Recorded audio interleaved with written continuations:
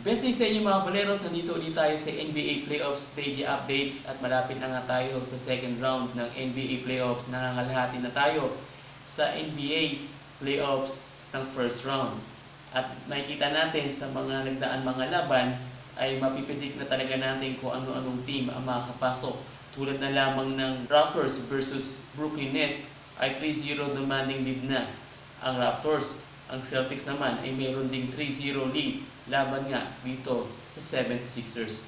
At bago natin puntahan ang mga teams na naglaban sa araw na ito, ay binabati natin si Coach Nick Nurse. Siya kasi ang uh, NBA Coach of the Year 2019 to 2020. Talagang uh, napakagaling na pinaita ngayon ng Raptors. At yan ay uh, in-announce ngayong araw na ito.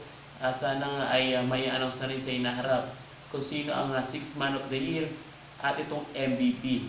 Itong MVP, uh, si Giannis pa rin na aking napili rito na maging MVP sa taon na ito dahil itong naaraang laban nila kontra sa Magic ay nagpakita na si Giannis ng pagiging MVP.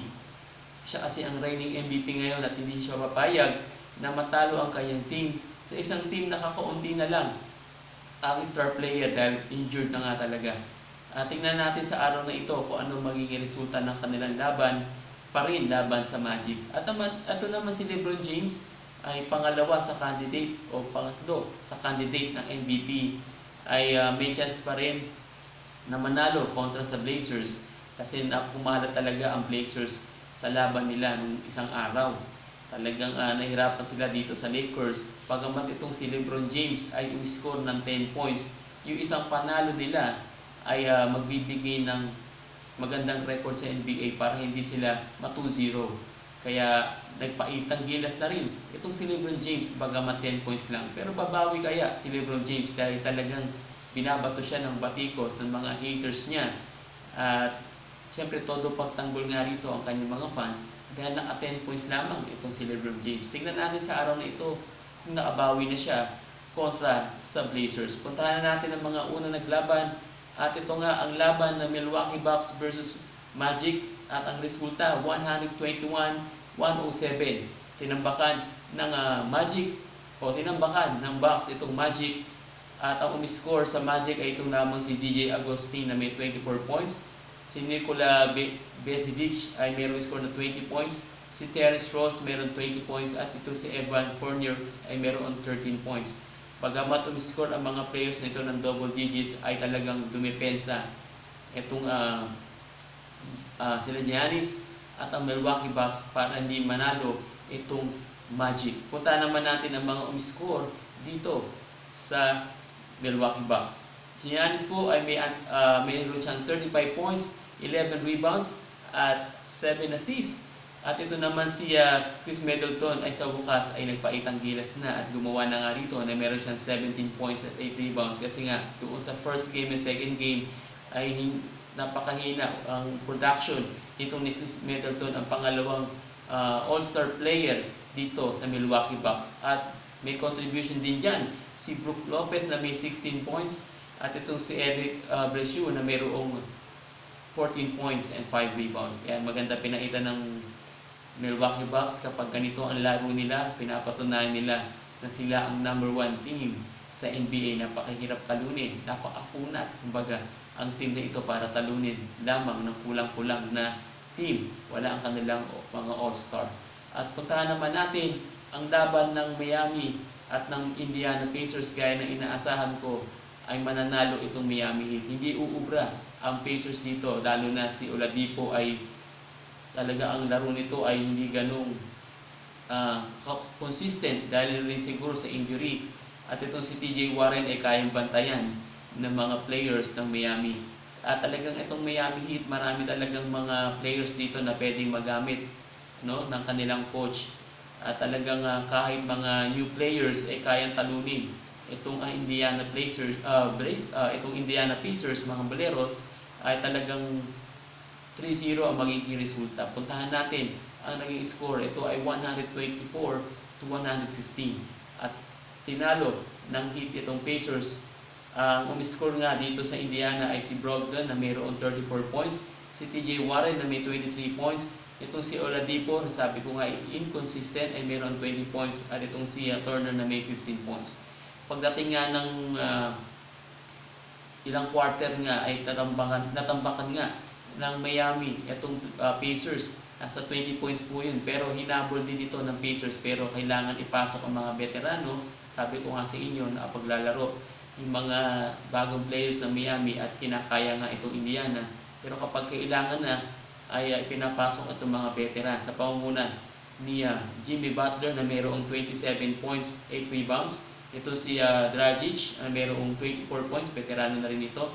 Si Adebayo may 22 points, 11 rebounds. So yan ay double-double. At itong si uh, Tyler Hero na mayroong score ng 20 points. At itong si Duncan Robinson 15 points. Nakita nyo, limang players sa Miami ang umiscore ng 5, uh, kumbaga, limang players ang umiscore ng double digit dahil nga pati mga bago at mga veterano players ay gumagawa dito sa Miami Heat. Kaya, uh, kaya sila ay ngayon ay 3-0 na ano dito sa Pacers. Ayan. At punta naman natin ang sumunod na laban, laban ng Rockets at ng itong uh, Oklahoma Thunder. At ito ay umabot pa sa overtime at nanalo dito, nakaisa na itong OKC. Uh, nanguna dyan ay itong si uh, Schroeder at itong veteran point guard na si Chris Paul. At syempre, ang umabot ito ng overtime, nawala rin si uh, Harden, hirapan na itong uh, Rockets na makabalik kapag talagang na foul out itong si Harden. At nakita nga natin dito na ang gumawa sa Houston ay itong si Harden na may 38 points, si Jeff Green na mayroon 22 points, Eric Gordon 18 points, at itong si Daniel House Jr. na mayroong 15 points. At sa OKC, ang gumawa nga dyan ay si Strouder na may 29 points, Chris Paul 26 points, napakataas niyan, at si Shai um, Alexander na may 23 points, itong si uh, Gallinari may 20 points. Malilipat na kaya ang momentum dito sa OKC lalo na hindi pa naglalaro itong si Westbrook. Sunod-sunod na kaya ang panalo ng OKC para sila na ang manalo dito sa second round. At sabi ko sa aking prediction kapag hindi naglaro si Westbrook, pwedeng manalo nga itong OKC 4-2 standing. At itong uh, uh, itong uh, Houston kapag naglaro si Westbrook ay talagang mananalo ito. Uh, punta na uh, bago natin puntahan ang laban ng uh, Lakers at ng uh, Blazers, itong si Kobe Bryant ay uh, magdiriwang ng kanyang kaarawan sa araw na ito. Happy birthday kay uh, Kobe Bryant. Uh, mamimiss ka namin Kobe Bryant. Uh, maganda pa rin mga videos na pinanood ko tungkol sa iyo. Kailan kaya yung documentary kasi nababalitaan ko na magkakaroon ng documentary itong si Kobe Bryant. Bago tayo pumunta sa pinaka-main event natin mga boleros, huwag ninyong kalimutan na mag-like, mag-share at mag-comment sa aking mga videos dahil meron nga akong ibibigay na papremyo. Uh, puntahan nyo lang yung aking ginawang NBA Playoffs Prediction. I-type nyo lang Richard Benito, makikita ninyo doon yung mga teams na aking pinili kung ano makakapasok sa NBA Playoffs. Second round hanggang semifinals. At kung yan ay tatama lahat, mamimigay ako ng papremyo dahil nanalo ako. Ganun ako pag ako nananalo, namimigay ng papremyo. Pero kung hindi ako makapasok o hindi ako manalo, doon sa lahat ng aking binigay ng mga teams, ay uh, mamimigay na lang ako ng papremyo doon sa mga players o sa mga players natin na nagko-comment i-comment nyo lang kung ano-ano mga teams ang napili ninyo na makapasok sa second round. Apat na team yan sa East at apat na team sa West. At kung tama ang inyong uh, prediction, ibibigyan ko kayo ng papremyo mga boleros. At uh, binabati ko ang isa sa ating mga boleros na si uh, Dard Trump. Yan, laging nakikinig yan, si uh, Dard Trump. At pinopost pa niya, sineshare pa niya itong ating mga videos. At huwag kang magsawa dyan, Dard Trump. At binabati kita sa shoutout na ito. At ingatan ka naman palagi. At ingat ka, alam ko isa kang frontliner. Kaya sana ay uh, laban lang. Ano? Mag-ingat ka palagi at marami ka pa matutulungan. Saluto ko sa inyo, mga bolero sa mga frontliners. Noong isang araw nga ay 10 points lamang itong si Lebron James.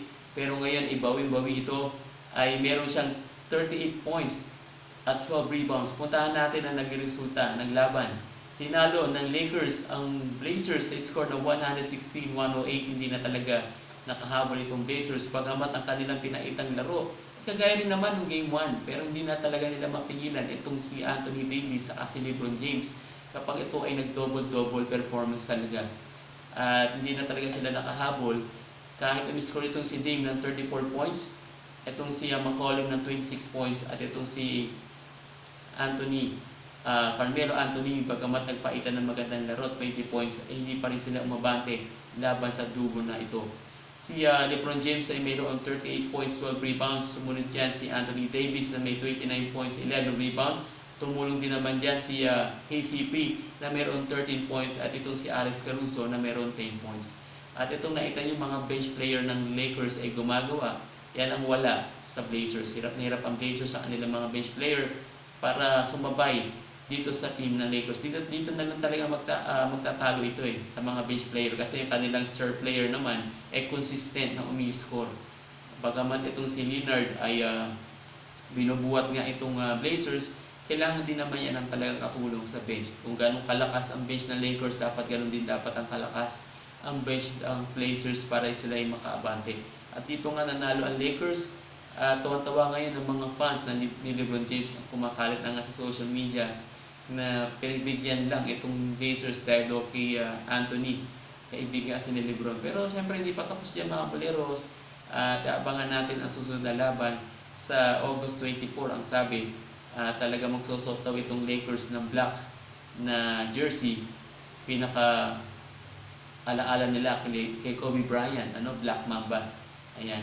Ang date kasi yun ay August 24 so 8 number niya nung siya ay ah, sisimula sa Lakers hanggang naging number 24 so August 24 at magsusuot sila, ng black. Ayan ang sabi. Apuntahan muna natin itong ating uh, standing na sa NBA napakaganda na ng standing nasa kalagitnaan na tayo. Patapos na tayo dito at may mga tips na sa tingin ko bukas ay maglalaglagan na kung may laban no?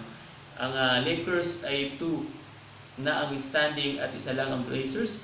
Ang Rockets ay 2 na rin nakaisa ang Thunder ang Nuggets ay isa, isa pa rin ang Jazz ay dalawa. Tingnan natin mukhang babawi ang Nuggets dito. Ah, Hindi nila napagandaan itong si ah, Mike Conley. Ang Clippers ay 2 sa 1 na. Ayan, bukas tignan natin ano, mga boleros kung ano magiging resulta.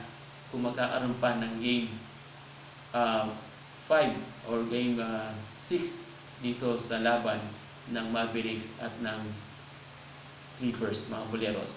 Sa box naman ay 2, 1 night standing. At laban sa Magic at itong Pacers wala pa rin panalo. 3-0 ang Hits at 3-0 ang Heat.